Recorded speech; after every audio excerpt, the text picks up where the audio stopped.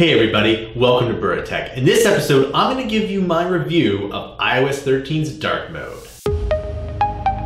Alright, welcome back. Before we start this video, I want to make sure that you like and subscribe, and if you really like this video, please share it. Also, you can take a look at the digital products down below because this channel doesn't do a Patreon. Instead, every dollar that we get from the products that you buy below goes into making more content. Let's talk a little bit about iOS 13's dark mode. Now, if you don't know, iOS comes out every year and every year there's some really cool new updates. Now this year, the update is dark mode and while iOS 13 is really awesome, I want to talk a little bit about why I like dark mode so much and why it's so important. So first of all, when you actually update your iPhone, sometimes the update can be quite jarring. In fact, in the past, sometimes you'd update to the new iOS version and that version would be quite different from the previous version causing you to be a little bit frustrated for maybe a few days. iOS 13 is not like that. Everything is easier to use and I really like the improvements that they made. Again, my favorite one is dark mode. One of the things that I don't like is having a bright screen in front of my face all day long. As a coder, I am always in front of a screen and oftentimes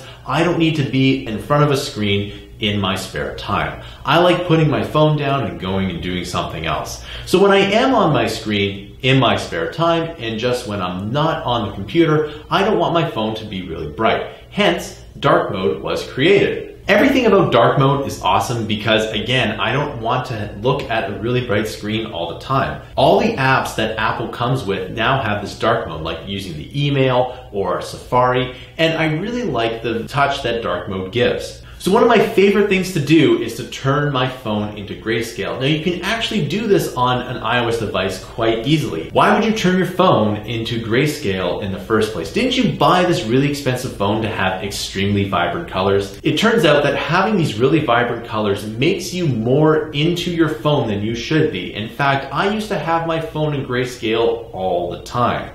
The reason is, is that I didn't want to use my phone as much in my spare time. I love having a phone and it's necessary for modern life, but at the same time, I don't want to be really addicted to it. So what I did is I turned my phone into grayscale, but the problem with grayscale is that you're still turning your white phone into gray, which makes it still less appealing, but it could be even less appealing. So now, grayscale and dark mode make your phone really easy to look at. In fact, I love putting my phone into grayscale, and the only time that I'm not using my phone in grayscale is when I'm watching a video on my phone. And most of the time, I'm not even watching a video on my phone because I'm usually watching it on a different device. So I think dark mode and grayscale is probably one of the best productivity hacks that you can do. So let me know in the comments if you like iOS 13 and if you like using iOS 13 with grayscale. Has it helped you use your phone less? I would like to know your thoughts. So that concludes this video. Again, thanks for listening. Please buy our products down below because this channel doesn't do a Patreon. Every dollar that we get from the products that you buy down below goes into making more content. Be sure to like and subscribe and I'll see you in another video.